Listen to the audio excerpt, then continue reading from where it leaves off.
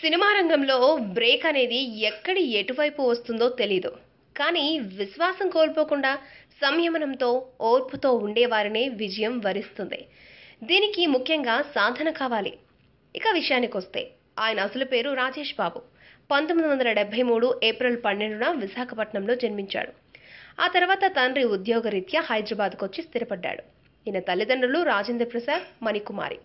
ఈయన తండ్రి టెలికాం ఎంప్లాయీగా పనిచేసేవాడు. తల్లి గృహిణి. ఎంబీఏ పూర్తి చేసిన తర్వాత వైజాగ్లోని విప్రో సంస్థలో స్థిరపడ్డాడు. ఇక ఈయనకు కూడా హైదరాబాద్లో ట్రాన్స్ఫర్ కావడంతో హైదరాబాద్కు వచ్చి సినిమాల మీద మక్కువతో అవకాశాల కోసం ప్రయత్నాలు సాగించారు. ఇప్పటి వరకు ఈయన ఏడు వందల యాభైకి పైగా చిత్రాల్లో నటించాడు. ఇక ఈయన కెరియర్ మొదట్లో ఎన్నో చిన్న చితక పాత్రలు చేశాడు. ఓవైపు విప్రోలో ఉద్యోగంతో పాటు ఛాన్సుల కోసం తిరిగాడు. లక్షల రూపాయల జీతాన్ని వద్దనుకుని సినీ రంగానికి వచ్చాడు. ఇక ఈయనకు మొదటిసారిగా బ్రేక్ త్రూ వచ్చిన చిత్రం సుమంత్ సూర్యకిరణ్ల కాంబినేషన్లో వచ్చిన సత్యం.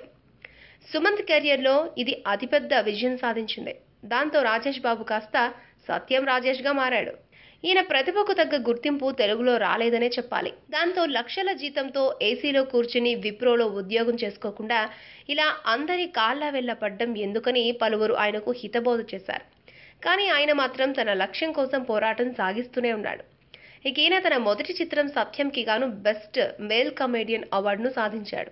ఇక సత్యం రాజేష్ తెలుగులో టచ్ చేసి చూడు ఫిదా జవాన్ సమంతకమణి అందగాడు.